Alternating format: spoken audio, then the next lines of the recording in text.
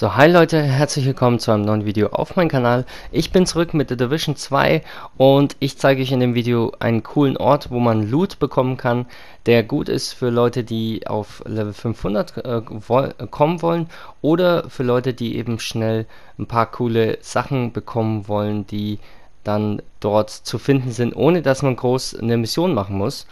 Und ich habe noch äh, kurz die Info, dass Episode 1 für die Jahr 1 Besitzer am 23. Juli erscheint, also nächste Woche Dienstag. Und für alle anderen Leute, die das äh, normale Spiel haben ohne Jahr 1 Pass, kriegen dann die ganzen Inhalte ab 30. Juli.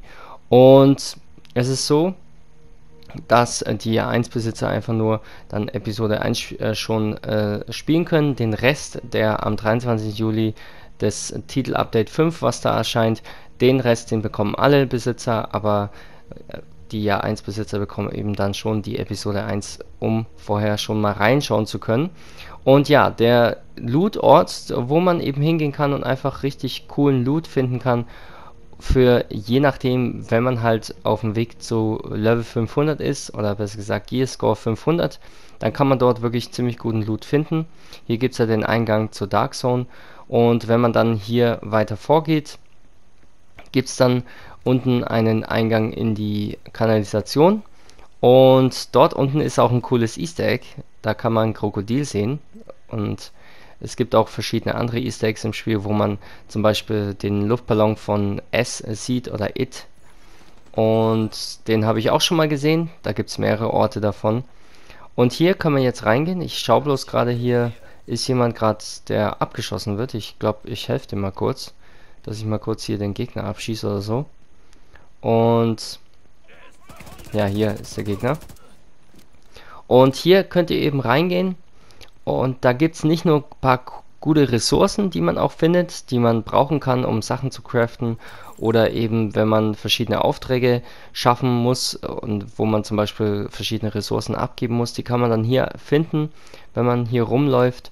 Und das ist einfach nur für Leute, diesen Ort äh, können Leute besuchen, die eben noch nicht Gear Score 500 sind oder versuchen eben gerade durch die, ja, durch die ersten 30 Level zu kommen, dann ist es hier wirklich ein guter Ort, um hier Loot zu finden, der eben nicht mit großem Aufwand zu holen ist. Also ihr könnt hier einfach reingehen, das tut sich täglich auch resetten, also ihr könnt da jeden Tag reingehen, alle 24 Stunden könnt ihr hier euch Loot holen und der ist eigentlich ziemlich gut. Für mich persönlich jetzt natürlich nicht so, aber für euch wäre der natürlich gut. Ihr seht jetzt hier lila 488 und so, damit könnte man schon äh, in die Nähe von Gearscore 500 kommen, also wenn man jetzt eben noch nicht so weit ist. Und es kommt immer ein bisschen drauf an, was man hier bekommt.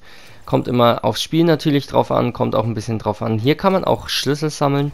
Die seht ihr hier, die gibt es auch Boxen hier unten. Und es kommt immer darauf an, welchen Gearscore man selber hat oder wenn man noch nicht Level 30 ist, welchen, äh, ja, welch, welches Level man da hat, welche Sachen man bekommt. Aber hier unten gibt es wirklich sehr coole Sachen. Dort hinten seht ihr den Krokodilschwanz, ganz kurz.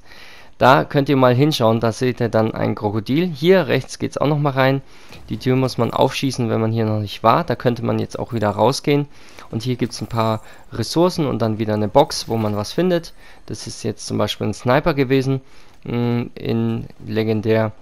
Und ja, ich finde den Ort ziemlich cool. Ich komme da auch manchmal her, um einfach zu gucken, ob ich irgendwas Cooles bekomme. Dadurch, dass alle Kisten eh kostenlos sind, man da nicht irgendwelche Schlüssel ver verbrauchen muss und so, ist es eigentlich ziemlich gut. Und das ist wie gesagt für Leute gedacht, die einfach noch versuchen Level 30 zu erreichen oder auf dem Weg zu Level 500 sind.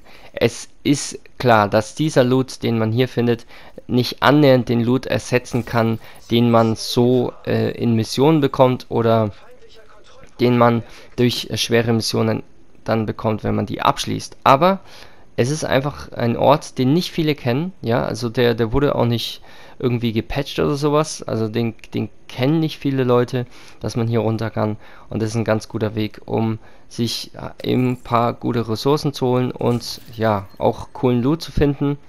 Es kommt immer darauf an, ob man mal was Gutes findet, mal findet man nicht so gute Sachen. Ich hatte auch mal eine Zeit lang, wo ich nur legendäre Sachen bekommen habe und dann auch mal Sachen bekommen habe, die richtig, richtig gut waren. Und dann gibt es halt Tage, wo man nicht so gute Sachen bekommt. Das ist immer unterschiedlich. Aber man kann es ja probieren, man kann sich anschauen. Und dann, wenn man wiederum die Sachen dann zum Beispiel zerlegt oder rekalibrieren möchte, auch dafür kann man hier diesen Ort nutzen, dass man eben Teile bekommt, wo man dann seine Rüstung oder seine Sachen rekalibrieren kann. Hier hinten ist nochmal eine Schlüsselbox, die man aufmachen kann und dann könnt ihr euch auch ein paar Schlüssel holen. Die Schlüssel gibt es sowieso sehr oft in der Kanalisation, also da findet man wirklich sehr viele Schlüssel. Und das ist dann so ziemlich alles hier unten gewesen, was man finden kann. Ich glaube, es gibt dann noch eine Box, die man finden kann. Die müsste hier hinten irgendwo sein, wenn ich mich recht erinnere. Und ich freue mich auf jeden Fall richtig auf Episode 1. Und am 23. Juli geht es ja los. Da kommt Title Update 5. Und da kommt dann auch Episode 1. Ich werde dazu klar auch ein Video machen. Hier haben wir jetzt noch die letzte Box. Da ist zum Beispiel wieder was Legendäres drin. Und das ist ziemlich cool. Also die Stelle hier könnt ihr euch anschauen. Immer wieder dann mal hierher gehen. Und dann holt ihr euch eben hier kostenlos ganz guten Loot. Je nachdem.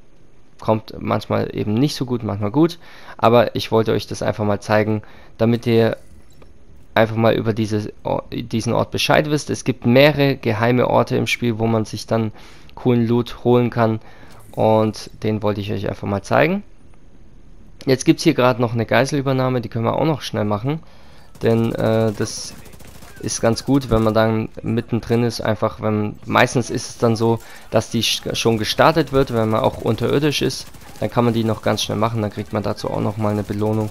Das ist ja nicht wirklich schwer und ja, finde ich immer ganz cool, wenn man die dann abschließt, weil man kriegt ja dann auch XP, um dann auch noch ein bisschen zu leveln. Und dann ist es eigentlich gar kein Problem. Und die Gegner, die da oft sind, sind nicht allzu schwer. Es kommt immer drauf an, was für Gegner dann dort spawnen. Aber meistens sind die schon ganz okay. Und mit Episode 1 oder mit dem Titel Update 5 wird ja auch der Loot dann nochmal überarbeitet. Also es könnte dann auch sein, dass dann diese diese Loot-Höhle, wo ich euch gerade gezeigt habe, oder wo man eben hingehen kann und öfter Loot holen kann, dass die eben noch besser wird, wenn dann nächste Woche Dienstag das Update zur Episode 1 erscheint. Also da kann es dann sein, dass es dann nochmal eine ganze Ecke besser ist und einfach noch ja, äh, besseren Loot drin hat, als, als es jetzt der Fall ist. Und es kommt immer, wie gesagt, darauf an, ob man mal guten Loot findet, mal nicht so guten Loot. Das ist immer unterschiedlich. Aber jetzt haben wir die Geiselnahme hier auch noch geschafft. Und das könnt ihr immer wieder machen. Also ihr könnt da jeden Tag reinschauen und könnt schauen, ob ihr vielleicht was Gutes findet. Und das ist einfach, wie gesagt, kostenlos dort und sollte ja kein Problem sein, dort einfach mal ab und zu hinzuschauen.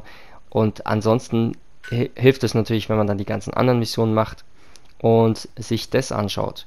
Ja, und das ist so ziemlich alles, was ich dazu sagen kann. Ich hoffe, es hat euch gefallen. Wenn es euch gefallen hat, lasst mir ein Däumchen nach oben da. Wie gesagt, nächste Woche Episode 1 am 23. Juli und dann für alle anderen am 30. Wir sehen uns im nächsten Video wieder. Bis bald, euer Monster.